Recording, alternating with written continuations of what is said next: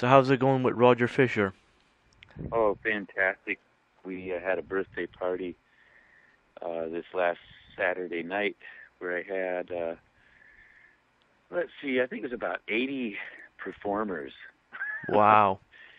and uh, we had some kind of big names there. We had we had Jerry Miller and Don Stevenson from Moby Grape. We had Lee Oskar. We had uh, Steve Fossen and Mike DeRosier from Heart, and they performed with this lady named Somar S O M A R Macek M A C E K, who is just an amazing vocalist. And we did a couple of Heart songs, and uh, geez, we had a group called the Daily Flash. They had a hit in Seattle in in uh, the late '60s. They were there's a really really good band. Uh, and we had Barry Curtis uh, and Steve Peterson from the Kingsmen and other uh, former Kingsmen uh, players. Uh, Incredible list. A lot of a lot of uh, other local talent that's really good. And God, it was just so much fun. What one great band after another. Uh, all the bands played two songs each, and God, the people just couldn't believe it. It was in a pretty small venue, uh, 450 seat venue, so it was really intimate, and uh, people were just blown away. It was so much fun.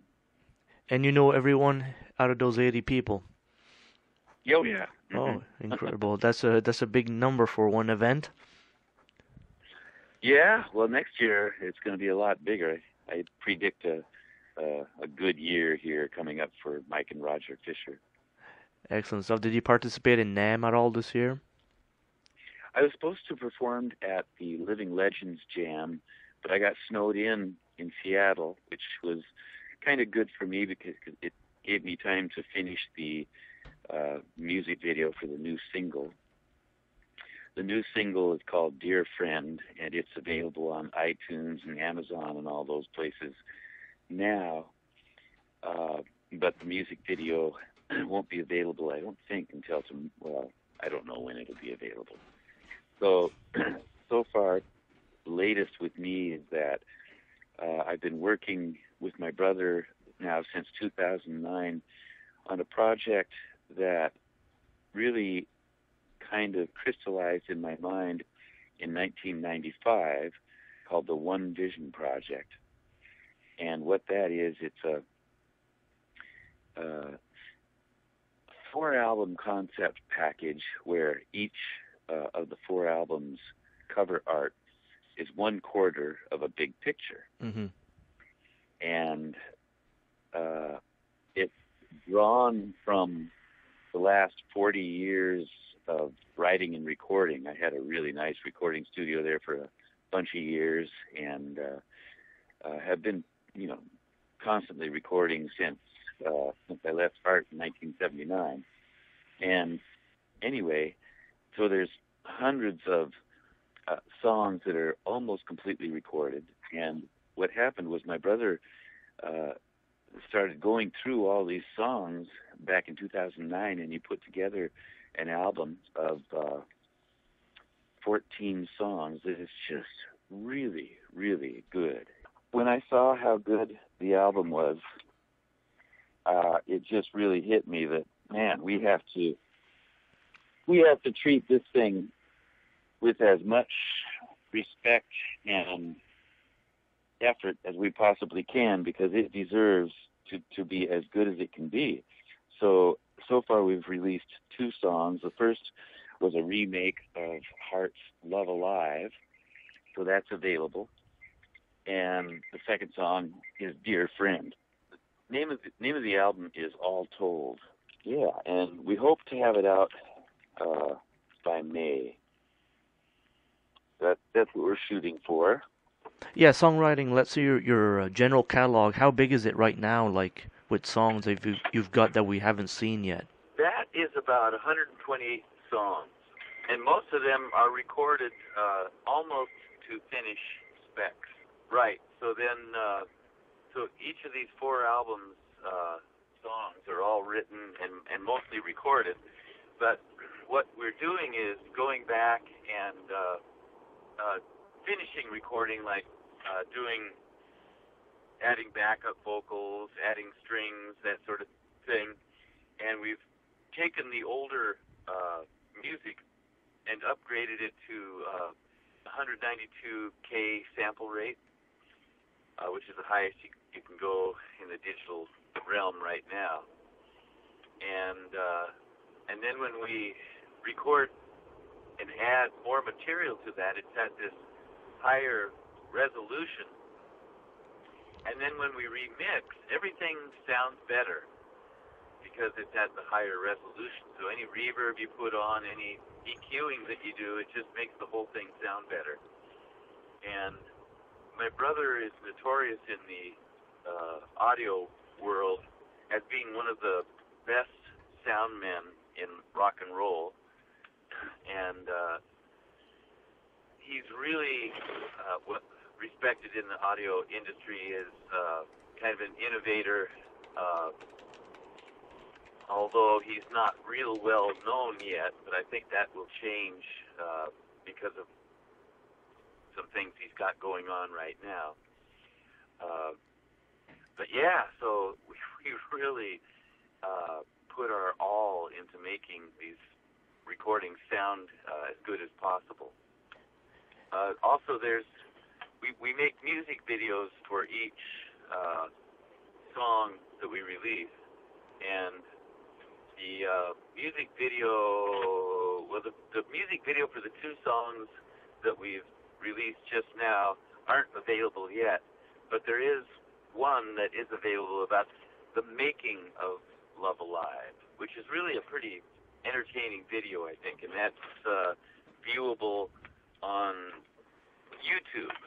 Right. The making of Love Alive. And also, like that, Roger makes it more like a documentary to watch at the same time, so the people learn about the song.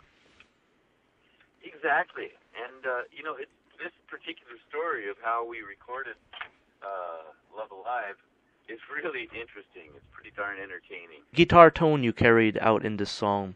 What, what did that come from? What type of uh, simulations or guitar was it? Just mic'd? Well, the bulk of the song is acoustic guitar, and it's a really nice guitar that I picked up in Nashville a couple of years ago called a McPherson. And uh, other than that, though, uh, oh, I use a Strat a lot. So for the the dirty guitar sound in the middle of the song, it's just a Strat with some high gain amp. And then uh, Let's see.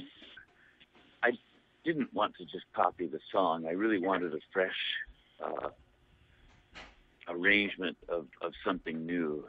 And uh, I was really inspired uh, to rewrite the intro of the mm-hmm. thing, uh, which I did, and it's its own song now. And then I also wrote an outro. So uh, there are separately copywritten uh, intro and out, outro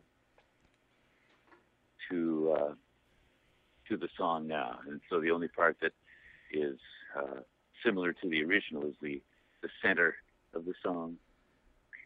So that was really fun, and I've got uh, an eight-piece group right now with uh, really good string players and hand percussionists going on the subject, you know, like simulations and that, did you ever experience with like um, floor processors and that create different guitar amps today? Did you see that and use that? I had and I had an endorsement with a company uh, that specializes in guitar modeling and all that, and I found that the one thing that it couldn't do, it could do a lot of different things, but the one thing that it couldn't do is sound like a good, clean guitar. And it, if an if an amp can't reproduce the sound of a nice, clean guitar, then I'm not interested. right. So I uh, kind of uh, lost all interest in that uh, it, that way of looking at things, at least for now. Uh, if somebody gets better at it, then I'm interested. But right now guitar amps are working better for me. I do have uh, an affiliation with Jet City Amplifiers, and they are just coming out with the uh, a Roger Fisher model, and that's really exciting because it's uh, it's a new way of looking at guitar amps. It's a wedge, like a vocal monitor, Mm-hmm.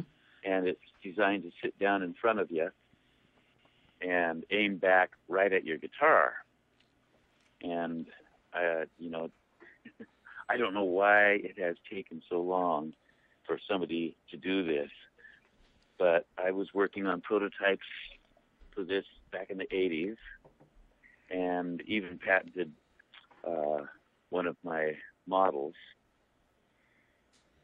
And uh, well, anyway, I met with Jet City Amplifiers, and they heard about that idea and uh, made a prototype, brought it to NAMM, and it was nominated Best of NAMM. Hmm. So I was very uh, thrilled with that, and uh, we're going to be producing them soon, and uh, it's going to be, I think, the most desirable guitar amp money can buy. And this basic amp, like this Roger Fisher model, is going to carry a lot of your different tones throughout the eras, would you say?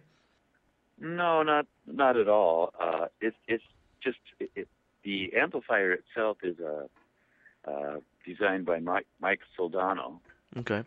So it's gonna it's gonna sound like a Mike Soldano. Uh, I mean, a, a Soldano amp sound.